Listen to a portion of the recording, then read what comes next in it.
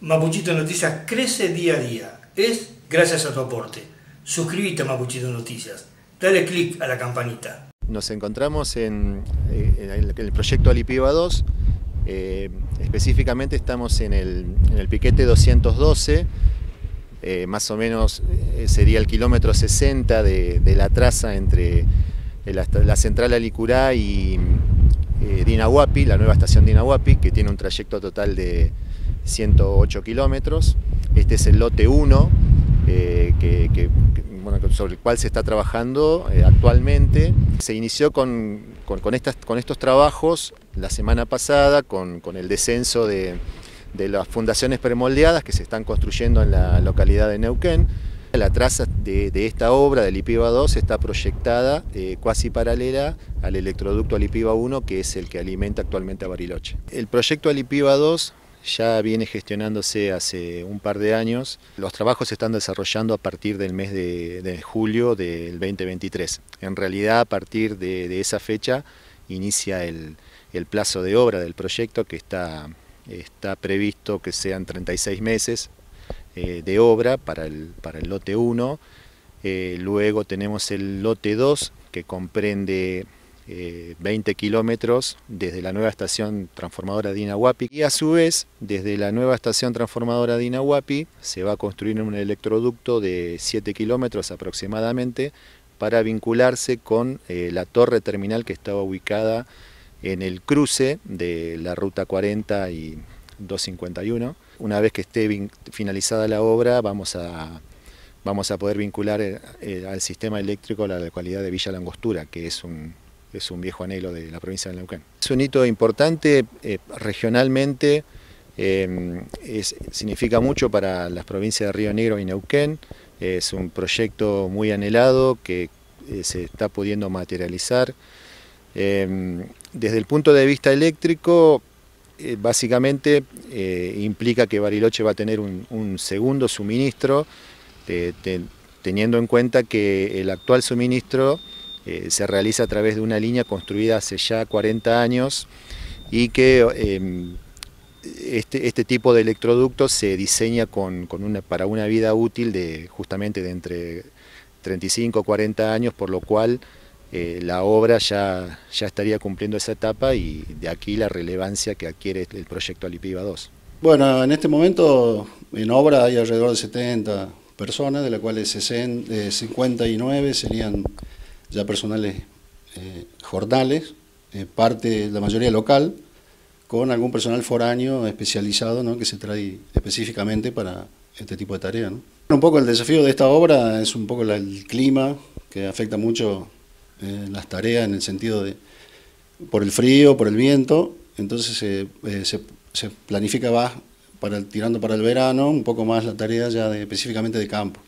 Anteriormente, durante el invierno, se aprovecha todo ese tiempo para hacer todos los preparativos de, las herramientas necesarias, molde, preparación de hierros. Un poco la logística es el problema, eh, o, el desafío, digamos. Entonces hemos tenido que eh, montar un obrador para poder eh, llevar adelante nuestras tareas. ¿no? Hemos, tenemos almacenes, tenemos cisterna de combustible, tuvimos que montar también un taller mecánico para poder asistir a todos los frentes de trabajo ¿no? debido a las distancias y a las dificultades del terreno. Acá un terreno bastante ondulado, hay poca infraestructura de comunicaciones, de, servicios para, la obra. ¿no? Así que todo eso lo suplimos acá en obra.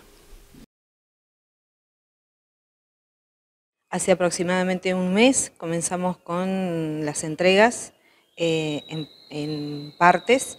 Eh, una primera entrega consistió en todo lo que es equipamiento eh, de mobiliario, escritorios, mesas, sillas y demás. Eh, la, entrega siguiente consistió en todo lo que es equipamiento médico, que eso consistió en camillas, eh, camas ortopédicas, eh, carros de curaciones, carros de paro. Em, y lo más importante que recibimos en esa parte fue el equipo de rayos. y en esta última entrega ayer recibimos todo lo que es la cuestión informática, todos los equipos informáticos para todo el hospital. Eh, en este momento, bueno, contamos el hospital en, el que, funcionamos, es muy chiquito.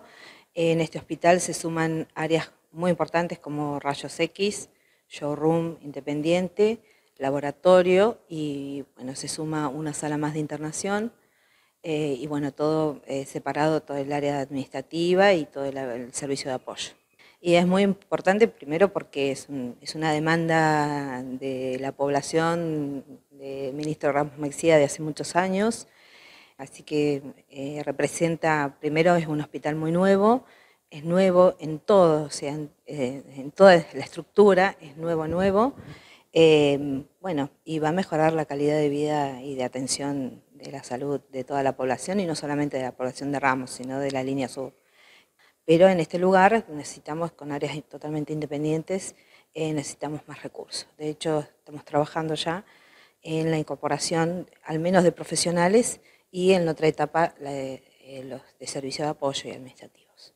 Todavía falta que llegue eh, todo lo que es la parte de odontología, si bien llegó el compresor y llegó el equipo de rayos odontológico, nos falta todo lo que es el sillón, las estufas y demás, estufa para esterilización y todo lo que es em, el área eh, de, cocina, el área de, de ropería, de blanco sería, toda esa parte falta que en algún momento seguramente va a llegar. Lo que se hace luego de finalizar la audiencia pública es la Secretaría de Ambiente y Cambio Climático eh, sigue con el proceso de evaluación ambiental, técnico y legal.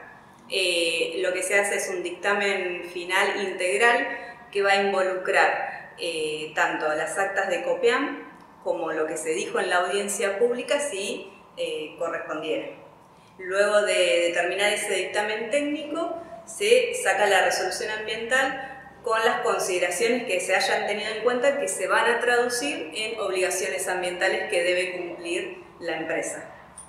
La evaluación que se hace es, eh, siempre es desde el punto de vista técnico, pero también se incorpora la cuestión social, o sea, la cuestión del territorio y la participación que se tuvo en, este, en, este, en esta audiencia pública es tenida en cuenta en la evaluación ambiental, porque la parte social es, digamos, parte de la evaluación. En la audiencia tuvimos eh, taquigráficos, entonces hay una versión, hay un acta taquigráfica que lo que se hace es transcribirla y luego el técnico tiene que evaluar todo lo que se dijo en la audiencia pública, tanto de los expositores como de los oradores.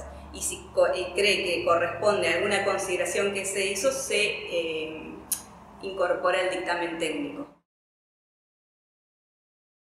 Para nosotros es un día muy emotivo, un día histórico, porque después de muchísimo tiempo, 14 familias de Jacobasi van a poder este, acceder al título de propiedad. Estamos eh, viendo si las podemos entregar en el marco del aniversario de nuestro pueblo. Lo vamos a festejar este 14 de septiembre, los 108 años de Ingeniero Jacobasi, así que qué mejor regalo que darle a estos vecinos, a estas familias, la escritura de sus viviendas. Bueno, hoy completamos una primera tanda de firmas de escrituras eh, con los vecinos de Jacobasi. Por supuesto les da inmensa alegría.